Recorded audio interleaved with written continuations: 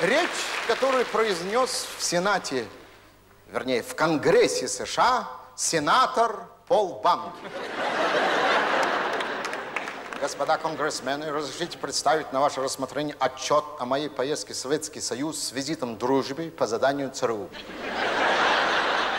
В результате поездки мной собраны неопровержимые доказательства того, что, прикрываясь разговорами о разоружении, советские люди усиленно готовятся к нападению на весь цивилизованный мир – Достаточно взглянуть на разбросанные по всей России десятки тысяч типовых железобетонных дотов с узкими амбразурами под потолком, которые в целях конспирации западных наблюдателей советские люди называют привокзальными туалетами. Лишним доказательством их военного назначения служит то, что они никогда не заходят эти сооружения, используя в качестве туалета всю прилегающую территорию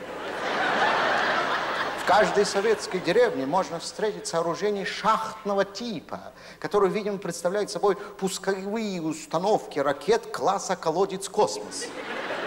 Подтверждение этому я получил во время пребывания в деревне Светлая Муть, где в одной из таких шахт произошел мощный взрыв. На звук взрыва из ближайшего коттеджа, покрытого соломой, выскочил джентльмен в белых бриджах с завязками внизу.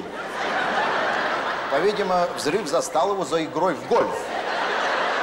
Он любезно объяснил мне, что шахта чем-то накрылась.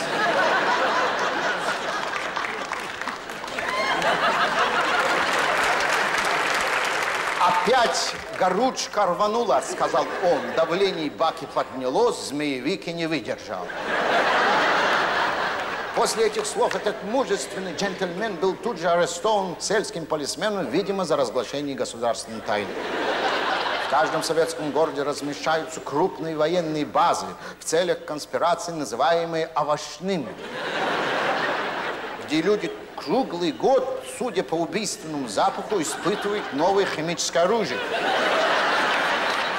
Со всей ответственностью заявляю, овощи так не пахнут. Военная доктрина Кремля охватила все сферы жизни. Милитаризована торговля. В каждом магазине можно встретить очереди, в которых люди отрабатывают приемы рукопашного боя. При этом они распаляют себя специальными выкройками на медицинские и сексуальные темы, которые почему-то называются шахматным термином «мат». Я сам видел, как из очереди за водкой был выброшен японец, оказавшийся чемпионом Японии по карате в тяжелом весе. Причем скрутила его хрупкая седая старая леди в валенках на босу ногу.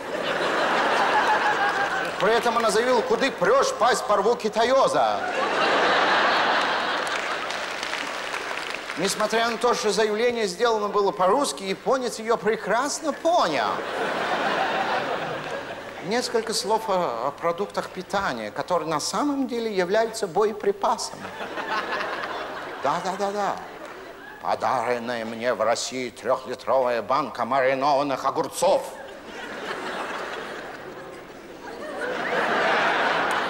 На третьи сутки взорвалась, развалив мою двухэтажную виллу крышке от банки был сбит очередной самолет Боинг 747. Господа конгрессмены, если кому-то изложенные мной факты покажутся неубедительными, добавлю, что недавно Советы выдали с головой свои агрессивные планы во всеуслышание, заявив, что собираются к 2000 году обеспечить каждую советскую семью отдельной квартирой. Куда смотрит ЦРУ? Поскольку даже они сами признают, что построить такое количество жилья за это время невозможно, остается выяснить, на территории какой страны НАТО они собираются притворить свои обещания в жизнь.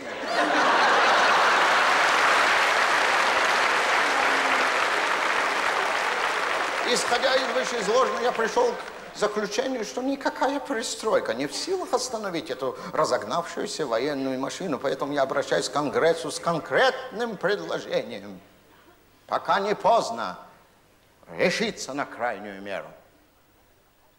Обратиться к Верховному Совету СССР с просьбой включить Соединенные Штаты Америки в состав Союза Советских Социалистических Республик на первое же освободившееся место.